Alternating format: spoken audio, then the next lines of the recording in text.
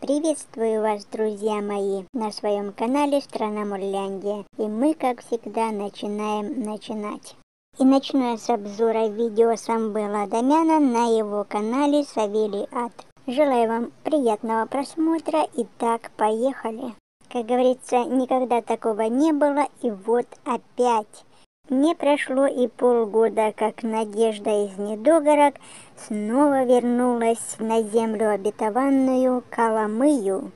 Что ее привело сюда, так никто и не понял. Ехала она к Татьяне Васильевне под предлогом сделать ей аджигу, но эта отговорка не сработала, потому что аджигу они, по всей видимости, делать не будут. Скоро все эти товарищи Адамяны и иже с ними поедут обратно домой в Днепр, и Надя за компанию поедет с ними же. И именно там, в Днепре, она будет делать эту аджигу. На какого фига она приехала в Коломыю, я так и не поняла. Поэтому единственную причину ее приезда я могу сказать только желание попозировать на камеру для такой большой аудитории зрителей. Но другой причины я просто не могу придумать. Ведь она только что прощалась с ними на перроне, я даже пожелала ей скорейшего возвращения, но не думала, что настолько скорейшего. Надя это вообще феноменальный человек. Я думаю, что не каждый из нас на такое способен, на что способна Надя. И вот они с Самвелом готовят кабачки, которые вкусом как мясо. Катаются всей компанией на горную речку по ресторанам, короче говоря, отдыхают на полную катушку и делают всевозможный контент. Между тем у Самвела случилось несчастье. Пропал кот Сайгак. Привез он его сестре Миколы Степаныча. Те его первый день закрывали в гараже, а ночью не закрыли, и он убежал с гаража. Скорее всего, путешествует на прежнее место жительства, где Самвел его обычно кормил. Но Самвел идет, гуляет, рыдает, говорит, отдаст тысячу долларов тому, кто его найдет.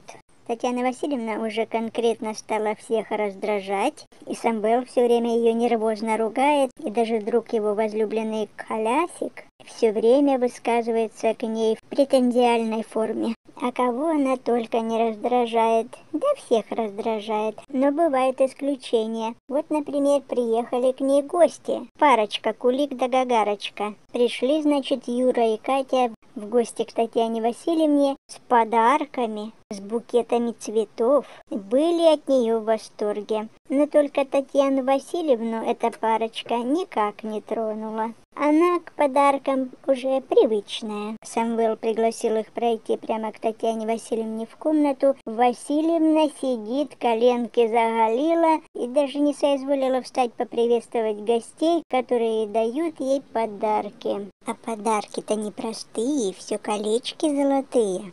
Пытается Татьяна Васильевна втиснуть это колечко на свой кривой палец.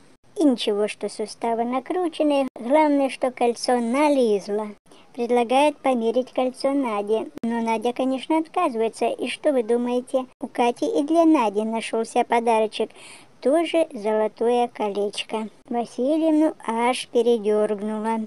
«А ну, Надя, дай-ка я твое кольцо померю!» Не, вы представляете, да? Да ты не офигела бабуля? Ой, бессовестная же она баба. Крутит, вертит кольцо на пальце, не может содрать. Даже поинтересовалась, Катя, мне ты подарила, значит, семнадцать с половиной, а Наде, значит, восемнадцать. Думает, это ж надо ж, как же я прогадала. Вечно Надьке все получше достается. Но это она не сказала вслух, это я на ее лице прочитала. Самбал, как всегда, придумывает контент, сказал мамке загадать желание и сгрызть нитку от колечка. Вот уж она старалась. Грызла эту нитку до потери сил. И вот сидят эти зрители, Настя на кровати, парень ее облокотился на подоконник, а я думаю, опустили бы их на порог, если бы не эти два золотых колечка. Васильевна уже предлагает куда-нибудь двинуть, но сам был и сказал, ты уже вчера надвигалась. А какой у тебя сахар? Васильевна признается, высоченький, 15. Ну ничего себе 15. Вот эта бабуля живет на широкую ногу. Но колясик вернул их всех на землю обетованную. А чего вы сидите? Вам такие кольца подарили. Видите гостей в ресторан. И вот вся гоп-компания выдвинулись на машине и едут в ресторан. Сам был, как обычно, общупал все руками, Перекусили они, значит, в ресторане. Надежда уже говорит, как бы не привыкнуть к ресторанной пище. И тут разговор зашел о том, что муж должен воспитывать жену. А Самвел говорит, а тебя много навоспитывали? Она спорит, что это она всех мужей воспитывала. Но хоть бы уже не позорилась. Все знают ее подноготную, все знают, как она жила со своими алкоголиками-мужьями. И где она только от них не пряталась. Самым лучшим вариантом было это у соседей. А так где только ей не приходилось прятаться. И тут она сидит на лавочке и всем сказки сказывает, как она воспитывала своих мужиков. Ну просто крайне неприятно, ребят, слушать этот ее бред. И вот они с Самвелом готовят кабачки, которые вкусом как мясо. И так Самвел эти кабачки смачно жует. А Надя с таким грустным видом на них смотрит, но есть все-таки на камеру их отказывается. Самвел ей подсказал, ну ты их попробуй и выплюни. И Надя так и сделала, пожевала, почавкала, почвакала и выплюнула их. А Самвел уплетает за милую душу. И Надя сообразила ему сказать, а ты калории считаешь? Самвел говорит, конечно, я все запишу, подсчитаю что ребята с трудом верится. Каким образом он подсчитает все ингредиенты, которые входят в эти жареные кабачки. Там и мука была разная, и панировка из сухарей, и сыр натертый, и четыре яйца, и сколько там впиталось жареного масла, оно аж пеной поднималось. Коля, когда зашел, был в шоке. Это где же вы такой рецепт взяли? Коля причитает, Матерь Божья, это ж надо ж сколько тут масла плавает.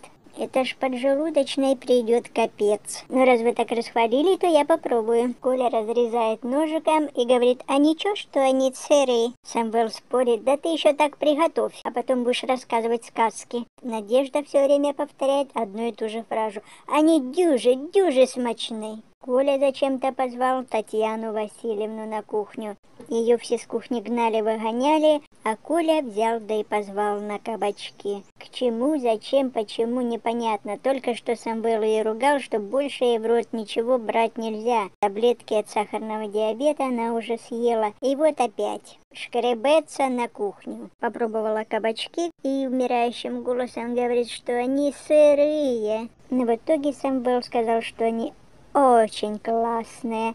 Всем рекомендует от души. Жарьте и ешьте именно такие кабачки, какие жарил он. На этом видео Самбала Дамяна закончилось и закончен мой обзор. Ребята, девчата, спасибо вам огромное за ваше внимание, за ваши лайки, комментарии. Я желаю вам отличного дня, прекрасного настроения и успехов во всех ваших начинаниях. А на этом я с вами не прощаюсь. До свидания и до новых встреч.